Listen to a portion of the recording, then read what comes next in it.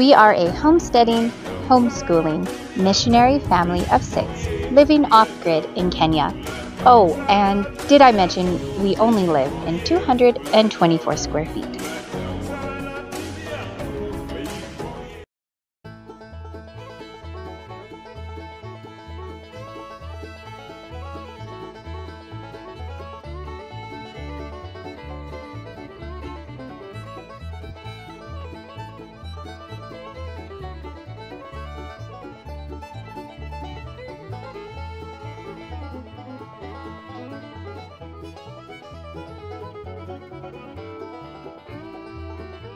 It is another lovely morning on the homestead.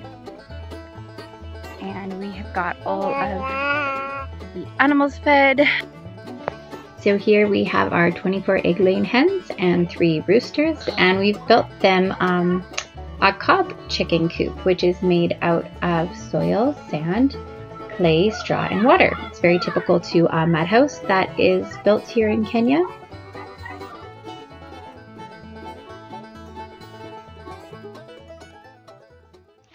So the girls are just having some playtime and once they are settled in, I'm going to start preparing for homeschool with my oldest son.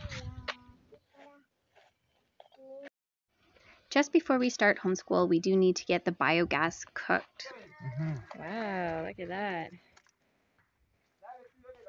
Hi, Glory. This is from Glory to the kitchen.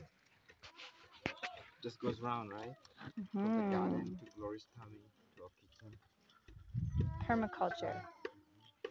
We use cow dung to cook. It's put into a biogas where it's then converted into usable gas. We are reading Boy of the Pyramids. Yes. Yes, we are. Yay. For homeschool today. All right, so Kaffe jumped out of bed and began to put on his kilt and sandals. Yes, he would be, but he couldn't do anything except punish us. Just think, he went on, how exciting it would be to ride out into the desert at night to a tomb that has been robbed. We live off grid here in Kenya, so that means no electricity, neither do our neighbors, and honestly, it's a wonderful thing to be able to see the stars at night. It is a very minimal life. Some would say it's a simple life. We wouldn't because honestly, everything takes a lot longer, like hanging laundry, for example.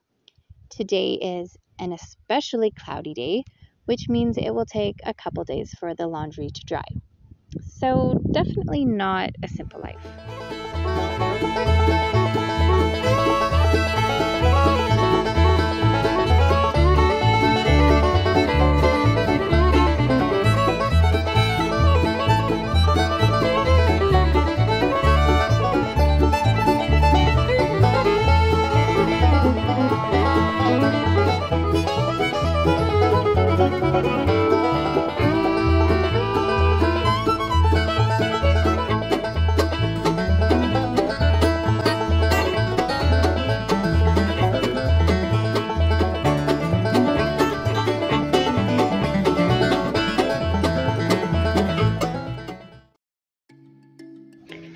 It's pretty rare to have a day where it's only our family on the homestead. There are always friends and family around.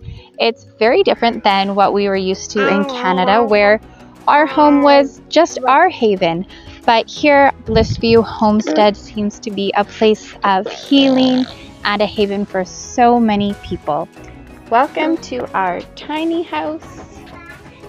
Here it is. We've got our drinking water, our bunk, bunk beds for the kids. So we have three out of four kids sleeping here. The kitchen. and we've got our other bed here. So yes, we do all squeeze. We utilize a lot of our under the bed space, our fridge, the bathroom, and that's it. That is our wonderful tiny house and we love it.